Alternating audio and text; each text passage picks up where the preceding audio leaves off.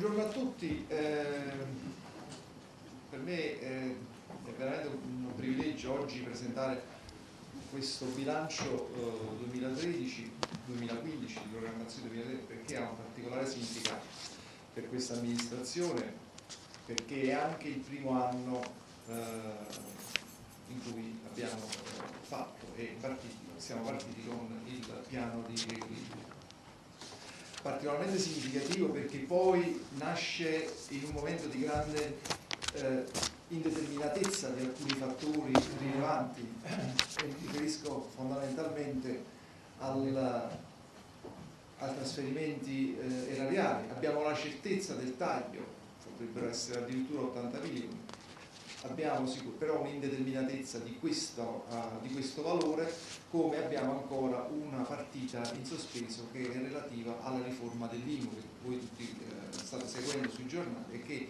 in qualche modo influenza uh, la programmazione di un. È necessario fare un passo indietro perché questa amministrazione ha ritenuto opportuno fare che cosa? Fare un'operazione verità che è l'operazione che in qualche modo potete, è rappresentata da questa slide attraverso la quale noi abbiamo eh, fatto pulizia, trasparenza del bilancio del nostro ente perché c'erano valori che non erano più eh, in linea con quella che è poi la realtà delle cose, andando poi a eh, influenzare la programmazione dell'ente facendo sbagliare probabilmente anche una, uh, una, un intervento strutturale all'interno dell'ente. Ci siamo voluti dare questa regola, quindi siamo partiti con un forte disavanzo, una registrazione di un forte disavanzo e con questo forte disavanzo abbiamo ritenuto opportuno questa amministrazione, attraverso il sindaco e tutta l'amministrazione, di fare forti istanze all'amministrazione centrale per riconoscere quelle che erano le ragioni di questa amministrazione per recuperare e risanare l'ente. Le regole che ci sono state affidate, che sono il 174 e il 35, sono regole eh, molto stringenti, non sono né eh, regole, ci siamo dati regole popola né popolari né elettorali, ma io dico regole strutturali, regole attraverso le quali si è ritenuto opportuno seriamente e concretamente entrare una programmazione di risanamento. Le regole sono scritte in questa slide e che in qualche modo ci ricordano che il piano di riequilibrio ci impone la leva fiscale al massimo, ci impone eh, la riduzione, la, la, copertura degli interventi relativi ai servizi a domanda individuale, ci impone un piano di dismissione, ci impone di tenere in equilibrio la parte corrente del bilancio, cosa che non era stata mai, non era stata mai fatta negli anni passati ci impone eh, un risparmio di spese sulle partecipate del 20%, ci impone una riduzione degli interventi 0,3 e 0,5 rispettivamente del 10 e del 25%. Un'operazione eh, veramente eh, dura, però abbiamo avuto il coraggio di eh, affrontarla.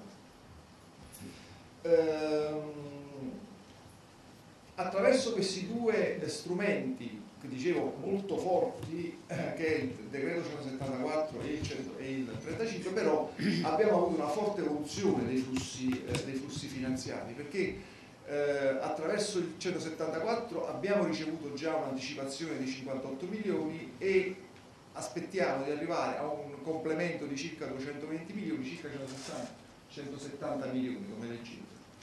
Con il, con il, decreto legge 35 è stata veramente una bellissima scommessa e qui io eh, devo ringraziare non solo per il bilancio, per il lavoro che hanno fatto i servizi finanziari, ma ringrazio anche il mio assessorato, l'ufficio del dottor Zoffo che mi ha dato la mano fino adesso a preparare le slide che purtroppo io non riesco a vedere, ma comunque va bene così. Eh, questa operazione con la 35 ci ha consentito di eh, sistemare o avviare la sistemazione di un'annosa questione di questa amministrazione, cioè in cronologico fermo da anni, cioè parliamo di 54 mesi di ritardo sui pagamenti, qualcosa al, al, che è, non è concepibile perché muore un sistema, muore, muore un'economia, è quello che abbiamo rappresentato al governo centrale perché la vera manovra deve essere questa. Quando diciamo facciamo un'operazione trentennale i, i, i, funzionari della Ragioneria generale, del generale dello Stato dissero no, non è possibile farla, poi invece abbiamo visto che si poteva fare perché il decreto legge 35 contiene quelle che erano le nostre istanze che a Roma facevamo. Quindi un'operazione che ci ha consentito che cosa? Di ricevere 500, almeno sulla carta 596 milioni e di fatto la prima annualità pari a 296 milioni e ulteriori 296 milioni dovrà, dovrebbero, dico dovrebbero, a, a, a arrivare nel 2014 ma probabilmente potrebbero essere anticipati addirittura nell'annualità 2013. E questa è un'operazione molto interessante perché se vediamo dalla, eh, dalla slide successiva ehm, abbiamo un risanamento del, del, abbiamo un'accelerazione fortissima del risanamento del, dei, conti del nostro ente perché noi siamo partiti con un disavanzo di 850 milioni se leggete Abbiamo ridotto già con rendiconto 2012 di 67 milioni, 66 milioni e siamo arrivati a un disavanzo di 784 milioni. Con gli innesti delle anticipazioni che siamo, abbiamo ricevuto eh, e con il piano di dismissioni arri arriviamo addirittura a, a ridurre al 31-12-2013 a 237 milioni di disavanzo, cioè da 850 arriviamo a 237 milioni. Se poi addirittura arriva l'anticipazione del decreto legge 35 del 2013 già a settembre-ottobre del 2013, addirittura come potete leggere, l'abbiamo messo in grassetto perché questa è la notizia, arriviamo ad avere un avanzo di 59 milioni. Che cosa significa questo? Significa che il piano di dismissioni di 700 milioni che avete visto nella slide precedente che deve supportare il recupero del disavanzo non sarà più utilizzato già a partire dal 2014 non sarà più utilizzato eh, per la copertura del disavanzo perché lo abbiamo già fatto in questa operazione ma potrà essere utilizzato innanzitutto per ottemperare a un dettato normativo di rilanciare un piano casa cioè nel senso poter rilanciare un piano casa poter rilanciare, rilanciare un piano di investimenti in senso generale, perché se prima eravamo obbligati con i 700 milioni a ripianare il disavanzo, liberando il disavanzo perché lo abbiamo uh, completamente ammortizzato, questi 700 milioni nelle annualità a decorrere potranno consentirci di fare un piano di investimenti. Questo è un aspetto fondamentale. La cosa interessante che diceva la slide precedente che io eh, non ricordavo è che se andassimo a creare un surplus di cassa già nel 2016 con 6 anni di anticipo potremmo uscire dal, dal predissesto. Significherebbe poter andare a Roma e dire non abbiamo più bisogno di queste regole siamo usciti dal predissesto quelle condizioni che ci hanno indotto ad aderire al 174 sono, sono andate via. Quindi addirittura prima della, dei, dei, dei 10 anni prima dei 5 anni della prima normativa quindi in 4 anni siamo riusciti a fare tutto. Questa è un'operazione interessante eh, e vediamo questo bilancio. Questo io l'ho chiamato bilancio a progetti. Perché l'ho chiamato bilancio a progetti? L'ho chiamato bilancio a progetti perché eh, innanzitutto siamo, abbiamo, con, quelle, con, la ristrettezza delle nostre risorse che voi conoscete bene, abbiamo detto di fare cose importanti, cose prioritarie. Quali? Innanzitutto la, il rilancio delle manutenzioni e della riqualificazione della eh, urbana, quindi dell'edilizia e anche dell'edilizia scolastica. Se vedete i fondi che sono stati appostati sono di considerevole entità. Abbiamo 7 milioni per la manutenzione delle strade, 2 milioni date per pronto intervento stradale, 2 milioni e mezzo, 5 milioni per la manutenzione delle scuole e poi abbiamo affidato alle municipalità, e questo è un altro elemento di novità che vedrete poi nelle altre slide sarà ricorrente, le municipalità dovranno attivamente collaborare con l'amministrazione eh, centrale abbiamo affidato loro 10 milioni e abbiamo detto un milione sono 10 municipalità un, avete un milione a testa dateci i progetti cantierabili su temi particolari importanti parchi, giardini, riqualificazione urbana. Questi devono darci la possibilità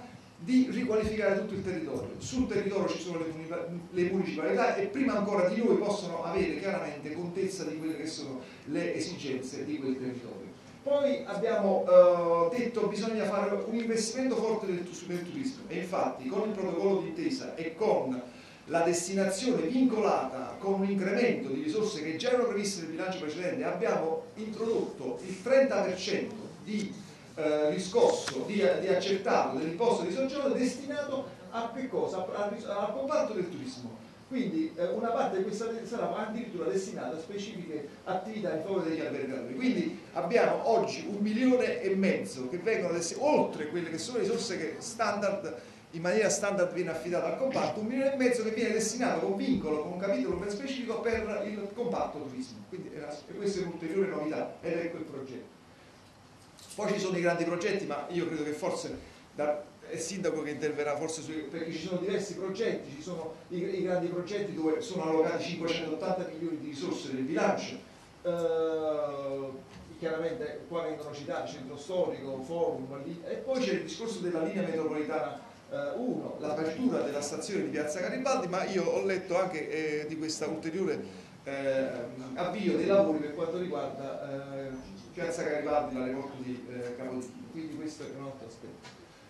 Ehm, le strategie che ci siamo dati sono di diverso tipo. Abbiamo delle strategie che sono, possiamo dire, interne all'amministrazione relative al contrasto all'evasione. Abbiamo letto sui giornali, si dice che eh, l'amministrazione, il comune di Napoli eh, non ha eh, fatto segnalazioni qualificate, io dico che il 99%, se abbiamo letto tutti quanti la tabella di, eh, del Sole 24 sappiamo tutti che il 99,99% ,99 dei comuni non hanno fatto segnalazioni qualificate perché è una nuova filosofia che eh, eh, stenta ad essere eh, diciamo, metabolizzata dall'amministrazione. Noi attraverso queste operazioni abbiamo ritenuto opportuno eh, eh, avviare questa attività. L'abbiamo fatto innanzitutto con l'organizzazione delle nostre banche dati e quindi un'azione diretta alla lotta all'evasione andando a coinvolgere tutta la macchina comunale perché prima che cosa succedeva? Succedeva che si, si interagiva solamente con i servizi dell'accertamento, della riscossione e notizie magari l'ufficio patrimonio aveva una notizia che poteva servire al, servizio riscossione.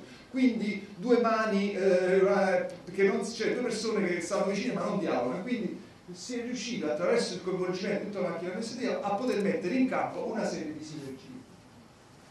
Eh, ovviamente per fare una vera e concreta lotta all'evasione c'è necessità di fare intervenire anche eh, le municipalità e quindi ecco perché dicevo che era ricorrente e la polizia locale. Abbiamo detto alle, municipali, alle municipalità e alla polizia, innanzitutto alle municipalità, abbiamo detto noi eh, così come è prevista la norma che sulle, sulle eh, segnalazioni qualificate il gettito ricavante dalle segnalazioni qualificate va all'amministrazione comunale tutto il 100%, noi mutuiamo, mutuiamo questa normativa, la decliniamo sulle nostre, sulle nostre eh, municipalità attraverso che cosa? Le municipalità ci fanno la segnalazione qualificata e il ricavato del progetto, il 50% viene retrocesso alla municipalità per progetti ovviamente sul territorio di quella municipalità. Quindi un'azione fattiva, progettuale, di intervento e di sinergie con le partecipanti. Poi ci sono una serie di accordi esterni, quindi delle sinergie che abbiamo messo in campo nell'anno 2013 e sono innanzitutto questo protocollo d'intesa che non è solo una firma, una sigla che il sindaco ha messo a posto con l'Agenzia delle Entrate, con eh, Equitalia e la Guardia di Finanza, ma ha, è stato già costituito il tavolo tecnico per il, uh, le segnalazioni qualificate. Quindi abbiamo l'esperienza, il know-how che ha in questo momento l'Agenzia delle Entrate perché hanno acquisito una serie di esperienze sul, uh, su, uh, in, in, diversi altri territori, tutti ovviamente del nord, e le stiamo in qualche modo cercando di assorbire e metabolizzare per cercare di fare anche questo tipo di attività. Poi abbiamo fatto un accordo con gli albergatori, a valle di quell'accordo che prevede anche il 30% dato agli albergatori, abbiamo addirittura eh, coinvolto gli albergatori per le segnalazioni. Noi abbiamo una serie di, eh, di eh, realtà all'interno delle strutture ricettive che non pagano l'imposto di soggiorno oppure che potrebbero in qualche modo fare anche una segnalazione diversa dall'imposto di soggiorno. Quindi anche con gli albergatori ci siamo attivati. Ovviamente abbiamo, siamo andati incontro a loro, come vedrete poi nella slide successiva, perché hanno avuto anche un risparmio dell'imposto di soggiorno così come con l'intesa con, con, gli inquilini, eh, con i sindacati sia degli inquilini e, e dei proprietari e, eh, ed anche un potenziamento con eh, l'ente di riscossione che è Italia Sud Polis attraverso che cosa? Le, eh, il contrasto ai grandi morosi, vengono eh, individuati grandi morosi coloro i quali mh, devono pagare più di 20.000 euro. Stiamo iniziando ad aggredire questa fascia importante di eh, evasori per poi scendere alla fascia intermedia, quella tra i 10 e i 20 mila euro e poi a, a scalare. Quindi questa è un'operazione che stiamo portando, avanti. E queste poi sono le manovre eh, che il bilancio, interessano il bilancio in senso stretto. Abbiamo innanzitutto, ho letto sui giornali, su qualche quotidiano, faccio no, di quale quotidiano, che abbiamo innalzato le tasse, ma non è vero, per nulla perché abbiamo eh, rispettato quello che abbiamo fatto nell'anno precedente cioè il 2013 è uguale al 2012, quindi non c'è nessun innalzamento, non allarmiamo la popolazione perché non c'è nessun aumento, anzi addirittura abbiamo un'agevolazione. Abbiamo innanzitutto un'agevolazione importante che è quella dell'addizionale IPEF. Se voi vedete oggi su Italia, su Italia Oggi c'è uno specchietto delle, degli, delle, degli scaglioni di esenzioni fatte dagli altri comuni. L'unico comune che si è, eh, avuto il coraggio di arrivare a un'esenzione di 18.000 euro è il comune di Napoli massimo sono arrivati a 13.000 o 14.000 euro, noi siamo, ci siamo attestati a 18.000 euro come soglia di esenzione, quindi una buona fetta di contribuenti, i nostri contribuenti, se guardiamo la media del PIL, del, del, del reddito dei nostri contribuenti, vedete che sono tutti in questa fascia, tutti risparmieranno, la maggior parte risparmieranno, coloro i quali sono sopra ovviamente avranno quel, quello 0,2% in più che avevano già l'anno scorso e non è che un incremento di quest'anno. Poi per quanto riguarda l'IMU, l'IMO è una partita aperta in questo momento, si parla adesso di service tax perché dovrebbe assorbire e accorpare IMU e TARES, quindi è, è, è, un ragionamento temporaneo, riguarda solo il bilancio 2013, non riguarderà probabilmente la programmazione 2014-2015, vedremo cosa succederà per settembre, ma comunque abbiamo che cosa previsto? Abbiamo previsto una fascia, un'aliquota ridotta all'8 per 1000 per i contratti a canone concordato questo consentirà due cose, A di abbassare ovviamente i, eh, i canoni, due a far uscire, a far emergere anche qui il sommerso, cioè i redditi che usciranno dalla dichiarazione dei fitti che prima non c'erano. Poi un'ulteriore invece agevolazione vanno per le giovani coppie, per le giovani coppie addirittura scendiamo a 6,6 per 1000, cioè siamo quasi ad abitazione principale, perché l'abitazione principale è 6 per 1000, noi ci attestiamo a 6,6 per 1000. Nessun comune ha fatto un'operazione genere, noi siamo Sappiamo che i giovani è una risorsa che in questo momento ha questo territorio e noi dobbiamo andare in questa direzione. Il bilancio in, tutte, ha, uh, in tante azioni che fa pone al centro dell'attenzione il pianeta giovani, ma anche l'amministrazione all'interno della sua squadra una, uh, una, un assessore uh, proprio delegato e con la sensibilità dei giovani. poi abbiamo sulla TARES invece il grande tema. noi veniamo dalla TASSU, la filosofia della TIA non, la, non l'avevamo, chi viene dalla TIA eh, sa che cos'è la TIA, che cos'è la, qual è la filosofia oggi della TARES, perché la, la TARES nasce un poco dall'evoluzione della TIA, la TARS invece è un'altra cosa. La, la TARES, che è una tariffa sui rifiuti e servizi, in effetti co, fa commisurare la, eh, tariffa in base alla produzione di, di, di spazzatura, di rifiuti più, sono, più, le famiglie sono numerose, più ho metri quadrati a disposizione, devo pagare di più. Più la mia attività commerciale produce rifiuti, devo pagare di più.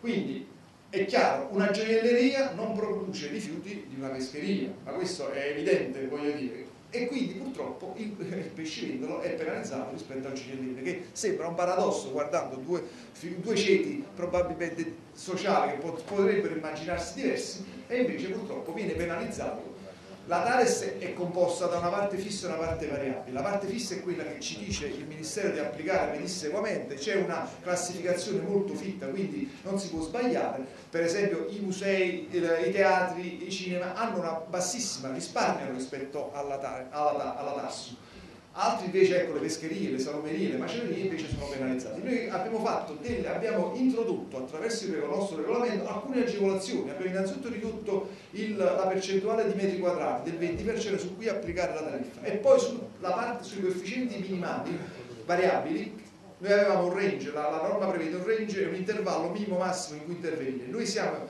ci siamo attestati sul minimo, quindi quando parliamo di aumenti di TARES non sono dipesi dall'amministrazione questo io ci tengo a dirlo, perché ci siamo attestati al minimo delle, dei coefficienti e alla, e alla, tariffa del coefficiente fisso, quello doveva essere ah, quello, e quello dobbiamo applicare. In più abbiamo previsto innanzitutto questa riduzione, per il, questa è una novità importante, il sul compostaggio domestico, cioè introdurre il compostaggio domestico ci consente di, di avere una riduzione del 30% del costo della tassa e questo è un aspetto importante. E poi abbiamo previsto Ecco, la riduzione delle superfici delle attività e poi una riduzione per le associazioni che gestiscono eh, beni confiscati alla criminalità organizzata o anche quelle delle associazioni eh, che svolgono servizi eh, del, mm, della salvaguardia dell'ambiente oppure ehm, della protezione civile.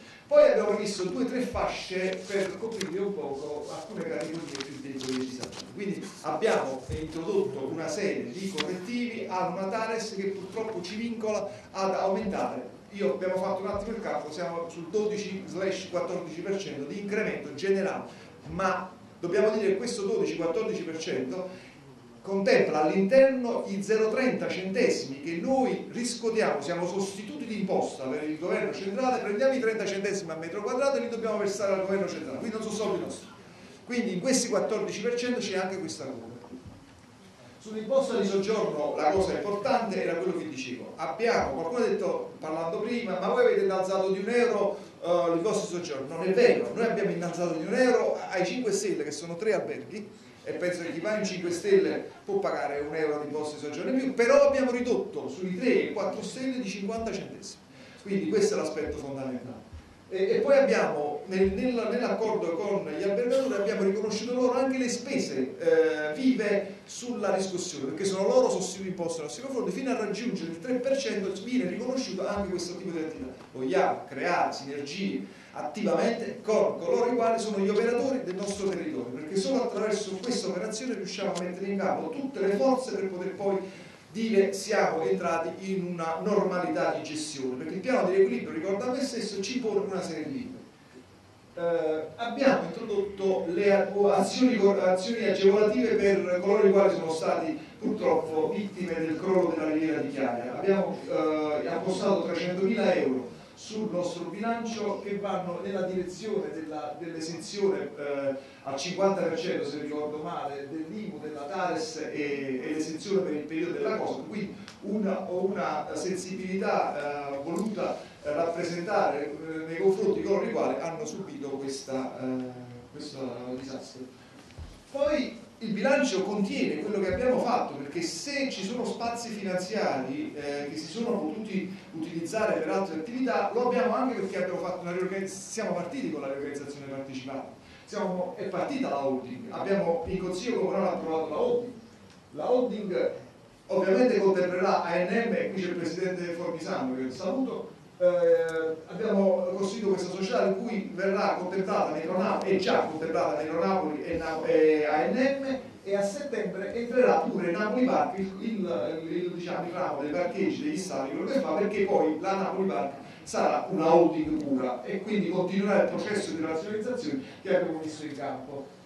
L'altro aspetto fondamentale è che lo vediamo già nel bilancio è il rafforzamento che abbiamo fatto a Navo Servizi. Navo Servizi aveva un contratto di 58 milioni, siamo, passati a un contratto di 72 milioni. Facendo questa operazione abbiamo internalizzato le attività che faceva Romeo risparmiando almeno 5-6 milioni rispetto a quello che faceva Romeo. Siamo partiti un poco pian pianino, però probabilmente già nel 2014 andiamo un, a regime e questa questo minimo chiaramente di, eh, eh, di, disagio nel fare questo passaggio di consegne sarà assorbito sicuramente già nel 2014 e questo ci consente di fare un'operazione importante perché Napoli Servizi è diventato attraverso la delibera dei consigli comunali società di interesse generale.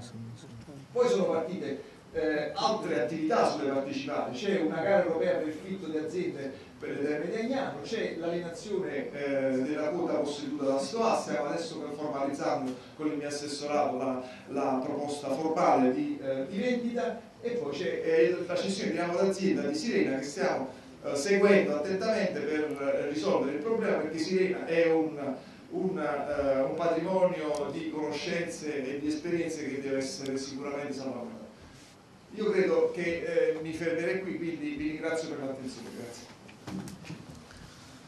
Grazie, buongiorno. Eh, saluto il Presidente Capasso della Commissione Bilancio, gli altri consiglieri, il Presidente Formisano e la stampa. Ieri abbiamo approvato un bilancio politico. Direi che, il, che è un bilancio significativo del giro di boa di questa amministrazione. Mm, io ovviamente non ripeto le cose dell'assessore Palma, cerco di fare delle valutazioni politiche la prima è che noi abbiamo ereditato un cadavere, che non era putrefatto ma era un cadavere, e se riusciremo a realizzare quello che è stato illustrato là e lo realizzeremo, noi il 2014 saremo in avanzo. Questo in due anni. Se oggi i cittadini e se in questi due anni hanno pagato delle imposte alte e per chi ci ha, ereditato, ci ha lasciato il baratro e ancora oggi ha la disonestà intellettuale di pontificare a mezzo stampa. Di questo voglio essere molto chiaro e preciso, perché questa amministrazione sta facendo operazioni strutturali, non operazioni di immagini, di marketing che anche servono a questa città. Questo bilancio è un bilancio strutturale grazie alle lotte politiche che ha fatto questa amministrazione, questo Consiglio Comunale, componenti di questa città, Lanci e altri sindaci, con la manifestazione unica nella storia della politica italiana di un Consiglio Comunale tenutosi a Montecitorio, noi abbiamo ottenuto quei numeri. Abbiamo ottenuto il decreto legge 35, il decreto legge 174. Dalle notizie del Ministero dell'Interno noi dovremmo avere tra fine ottobre e inizi di dicembre 800 milioni di euro complessivi tra 35 174 e trasferimenti nazionali. Cioè significa che noi col gennaio 2014 saremo un comune virtuoso in due anni. Questa è una notizia di verità, sono numeri che parlano ed è la politica che ha realizzato questo, non le hanno realizzato né manine diciamo, che ci hanno aiutato, anzi molte manine ci hanno anche ostacolato, in questi due anni. È una battaglia, è una lotta politica del primato della politica. Vorrei ricordare le operazioni strutturali che sono state messe in campo sulle società partecipate, la più grande holding del trasporto pubblico che il Paese conosce in questo momento, non solo il Mezzogiorno d'Italia.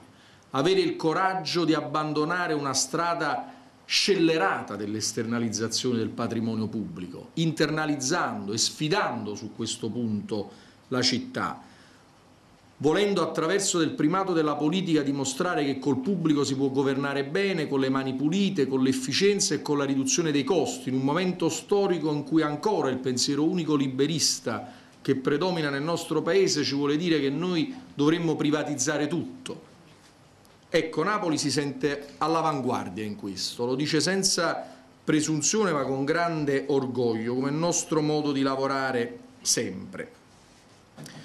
Nonostante quel cadavere putrefatto, quel cadavere non putrefatto che ci hanno consegnato, noi in due anni in predissesto abbiamo mantenuto la spesa sociale. Oggi con questo bilancio aumentiamo le risorse, per questo è un bilancio politico, per il trasporto pubblico, per le scuole, per le strade, per gli asili nido, per il sociale, per la cultura, per i grandi progetti. Mentre ci sono grandi città italiane che chiudono asili nido, noi rafforziamo la refezione e rafforziamo la scuola pubblica nella nostra città. L'assessore Palma si è dimenticato di dire un'altra cosa importante, ma io lo ringrazio perché lui e l'assessorato hanno fatto un lavoro straordinario e finalmente abbiamo un assessore tecnico che è diventato politico. Perché io sto amando sempre di più la politica e soprattutto i tecnici che diventano politici sono il risultato secondo me più importante. Noi siamo scesi 50, sotto il 50% del personale. Questo significa che noi faremo un'altra cosa storica nei prossimi settimane, nei prossimi mesi e nei prossimi anni. Faremo i concorsi quello che dice la Costituzione repubblicana, finalmente concorsi interni, esterni, faremo scorrere le graduatorie, stabilizzeremo progressivamente gli LSU, le maestre, quella battaglia storica di questa amministrazione per le maestre e per la scuola pubblica sta facendo il giro d'Italia, nonostante l'informazione non la racconti, sta facendo il giro d'Italia attraverso i sindacati, attraverso le maestre, attraverso la scuola pubblica. Io è chiaro, lo so, che queste cose possono sorprendere perché lo facciamo diciamo, solo con le nostre eh, mani e con la nostra passione, che non significa che questo bilancio ovviamente non sia ancora un bilancio doloroso, perché è chiaro che noi stiamo per virare, stiamo per fare il giro di boa, quindi ancora teniamo sulle nostre spalle, nostre intendo di cittadini napoletani, il peso di quelle pagine vergognose in cui si nascondeva la spesa per fare debiti fuori bilancio. Bene, per la prima volta noi abbandoniamo definitivamente questa politica, che è la politica del trucco, dei politicanti, di quelli che cercano il consenso del domani per poi andare a chiedere il voto e farlo diventare voto di scambio. Oggi noi facciamo un'operazione strutturale, di cui se ne beneficerà soprattutto il prossimo sindaco di Napoli, non questo sindaco, Io credo che questo significa fare politica cambiando il corso delle cose. E lo voglio dire anche allo Stato centrale. E io ringrazio il Presidente Fassino dell'Anci che ha cominciato a fare uno straordinario lavoro e noi sindaci lo faremo sempre di più. Basta con i comuni bancomat, perché poi è veramente ti fa capponare la pelle, ti fa voltare lo stomaco, aprire un giornale e, se, e, leggere quasi che sono i comuni che alzano le imposte, sono i comuni che mettono tributi, sono i comuni che mettono le imposte, sostanzialmente lo Stato centrale che mette, prende e incassa. Pure questa battaglia dell'IMU, noi non ci vogliamo entrare, decidesse lo Stato centrale quale deve essere le imposte dei comuni, noi mettiamo le imposte, noi vogliamo essere autonomi, questa è la grande battaglia dei prossimi anni, l'autonomia, l'autonomia delle comunità, le autonomie dei sindaci, le autonomie dei territori. Questo è il vero federalismo di cui un paese dovrebbe appassionarsi, cioè il federalismo fatto delle autonomie. Noi vogliamo essere autonomi, Napoli è stata capitale e ha l'ambizione di essere autonoma, non voglio dire capitale perché sennò si apre uno scenario preoccupante. Autonomia, noi vogliamo, io sono sempre stato autonomo, il termine autonomia mi è sempre piaciuto quando ero giovane. Io sono autonomo, noi siamo autonomi, vogliamo essere autonomi. Napoli ha le capacità per essere autonoma. Quindi lo Stato centrale decida, decidano Berlusconi, Letta, decidano loro che vogliono fare dell'IMU, non ci appassiona questo tema. Decidano quello che vogliono fare, noi siamo pronti ad accettare questa grande sfida. Poi sono anche altre novità che poi leggerete perché voi siete molto attenti eh, e questo sarà molto importante per i cittadini, tra l'altro ad agosto i giornali si leggono con molta attenzione, anche su cose che sembrano minori, COSAP, no? Abbiamo introdotto un principio importante, tutte le manifestazioni che si faranno in città e che hanno caratterizzazione di utilità sociale non si dovrà pagare solo pubblico. Noi dobbiamo incentivare la vita a questa città. Qua c'è gente che mette catene, mette lucchetti, vuole recintare piazze, noi le vogliamo liberare, io sono il sindaco che rompe lucchetti, c'è qualcuno che mette lucchetti e li vado a rompere, senza fare reati, una rottura immaginaria, è la rottura dei lucchetti. Poi il TAR sancisce che quella è la buona strada, quindi non c'è operazione più legale di questo tipo. Noi siamo per la legalità costituzionale, qualche è per la legalità burocratica fine a se stessa. Noi siamo per un'altra legalità, anche questa è una rivoluzione. Qualcuno ci accusava di, di che noi siamo accentratori. L'assessore Palma prima ha fatto un passaggio politico molto importante. I soldi alle municipalità. Le municipalità devono avere autonomia politica, autonomia nelle decisioni, però devono essere responsabilizzate. Cioè basta flussi di soldi che poi si perdono in gare, garette, uffici, non si comprende, i soldi poi non si spendono avete i soldi finalizzati a progetti esecutivi nell'interesse dei cittadini e siete voi municipalità, come giusto che sia, politicamente a decidere le vostre priorità, però i soldi vanno poi spesi.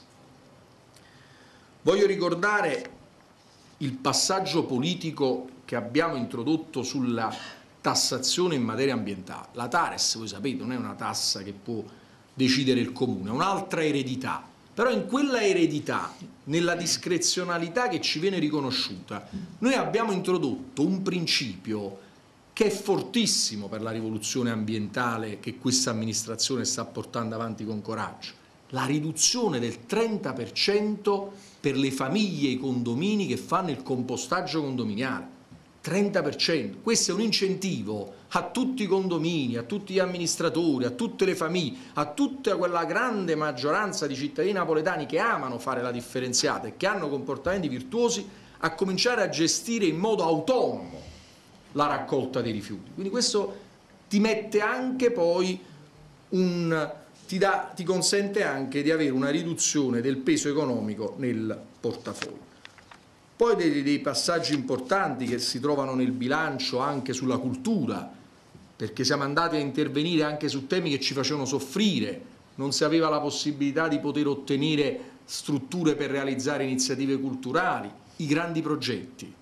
Guardate, vorrei ricordare oggi, di cui si parla, insomma, la battaglia al CIPE per il prolungamento della linea 1 e quindi poter far arrivare la metropolitana all'aeroporto è soprattutto una battaglia di questa amministrazione, io lo vorrei dire. Ma io vorrei che la città sapesse i passaggi fatti con la Presidenza del Consiglio, col Ministero, anche qui superare gli ostacoli. c'era ancora chi non voleva che la metropolitana arrivasse all'aeroporto, perché poi questa è una città bizzarra, dove c'è anche chi sostiene che non sia necessario che la metropolitana arrivi all'aeroporto.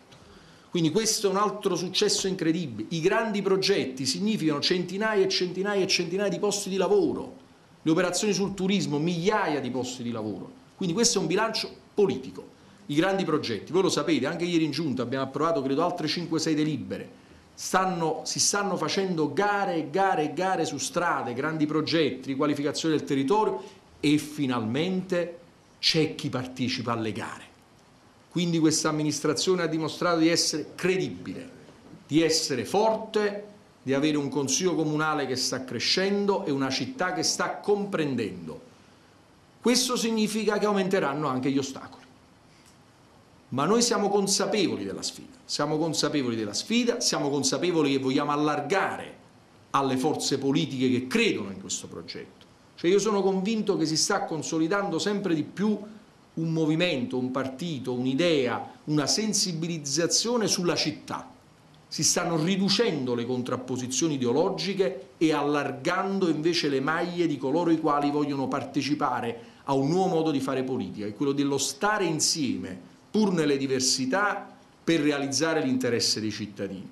Quindi io avverto veramente questo un momento importante. Sono certo che il Consiglio Comunale saprà anche migliorare questo bilancio, ci aspetta un percorso, a parte una pausa di qualche giorno di Ferragosto, importante da fine agosto in Commissione Bilancio, dovremmo fare un tour de force entro metà settembre, come potete vedere rispetto ad altri comuni abbiamo anche sul bilancio precorso e anticipato i tempi, e anche ancora una volta, chiudo su questo, in questo bilancio c'è la sottolineatura dell'apprezzamento e anche della, delle attese fondate che noi eh, abbiamo nei confronti del nostro personale.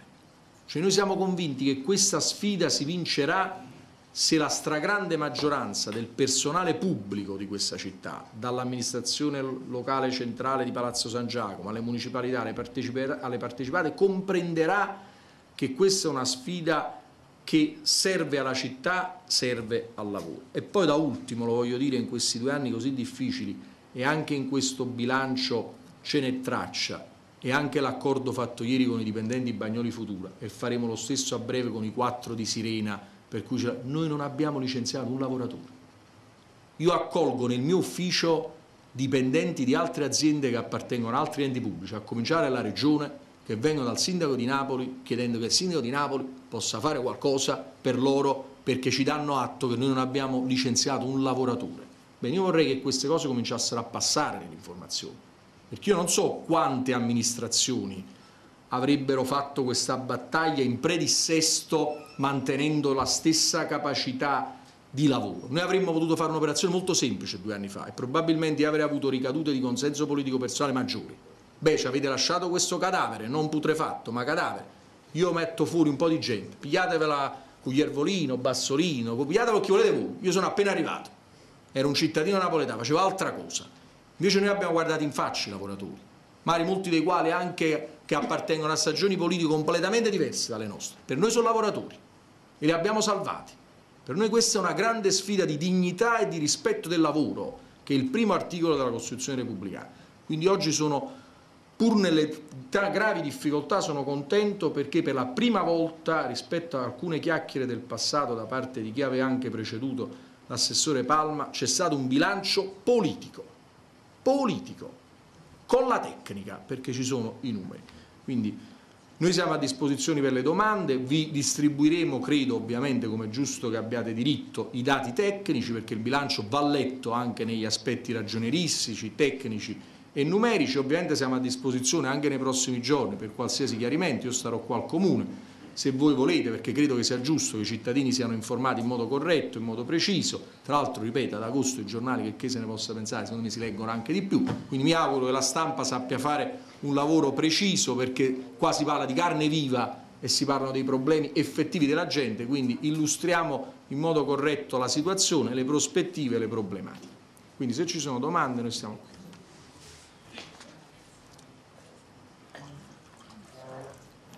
Posto. Questi servono.